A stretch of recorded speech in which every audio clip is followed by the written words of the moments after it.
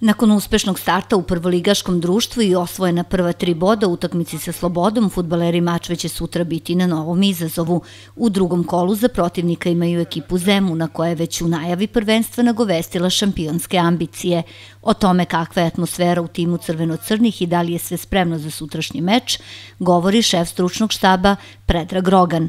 Sve je spremno za Zemun. Nadam se da će momci još jednom potruditi svoj potencijal i pretočiti ga u kvalitet. Imamo ambicije na sutrašnjoj utakmici kao i na svakoj do, do sada.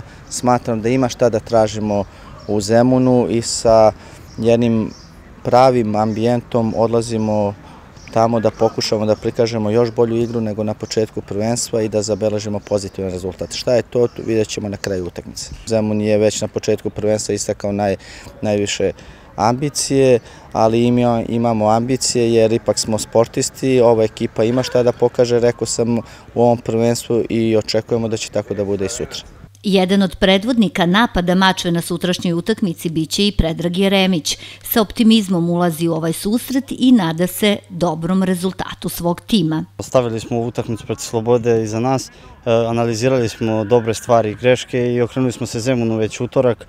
Eh, analizirali smo i njihove i vrline i mane, tako da očekujem da pružimo isto dobru igru kao prvo kolo i nadam se povoljnom rezultatu.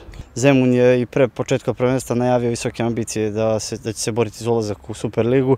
Mi naravno imamo naše ovaj, adute i naše šanse, sigurno se nećemo predati, čak naprotiv idemo da dobijemo utakmicu tamo, pa prso prse ko bude bolji da pobedi. Podsećamo da je u prvom kolu Zemun igrao 0-0 sa ekipom Bežanije, dok je Mačva savladala Slobodu sa 2-1.